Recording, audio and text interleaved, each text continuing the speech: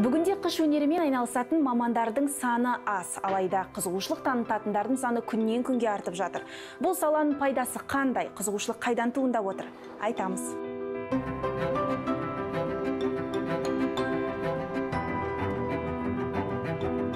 Жаққа келу үшін мен негізінде өзім қатысқым келді. Мен ең басында бұ- бұл жерден анамнан сұрадым. Сөйтіп ана екеуміз келе жатқанбыз ғой ол қай жақта деп мен анам сұрады да мен көрсеттім.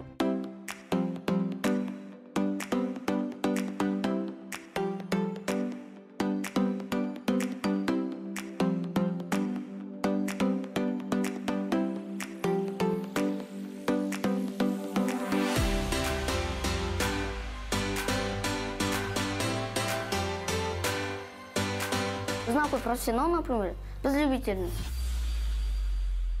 ошманова ғалия керамика және саз балшық өнеріне төрт ай бұрын басқа саладан ауысып келген. Шығармашылыққа деген құлшыныс хоббиден негізгі мамандығына ұласқан өзім сурет саламын и сосын осындай ке- керамика жасап көрейін деп құмыраны көрген мастер класстан содан кейін өзіме ұнап осы не салаға келдім. Құмыра жасау үшін әуелі ниет және су мен саз балшық қажет.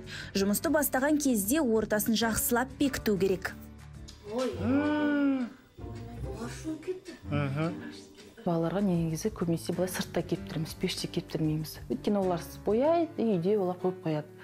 Ал пеште не үшін кептіреміз? Пеште кептірген кезде ә, мысалы ол ә, кружка мен құмырамен ішіне ә, шай сондай құюға болады. Сол кезде ол глина езіліп кетпейді өз формасын бұзбайды.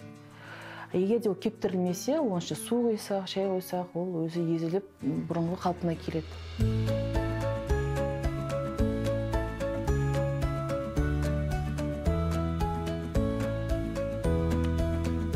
Балалар бізде сабақта қолдарымен жұмыс істейді. Мына қолдарымен мына қолдарда ә, тамырлар ә, нейронға миға апаратын нейрондар связь болады. Сол небәрі бала қолмен көп жұмыс істейді балада ойы мировоззрениесі фантазиясы бәрі дами бастайды. Кебу кезеңнен өткен құмыраға сурет салып глазурлеуге болады. Су қойып немесе кружка жасасақ кружка шай ішкіміз келсе конечно оны глазурь жасаған дұрыс.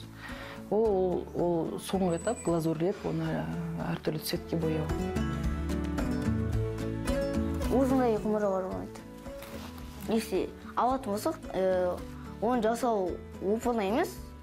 Оған күш керек қалай опыт керек. Қыш өнері көнеден бастау алған кәсіп. Ерекше әрі өзгеше әсер сыйлайтын бағыт.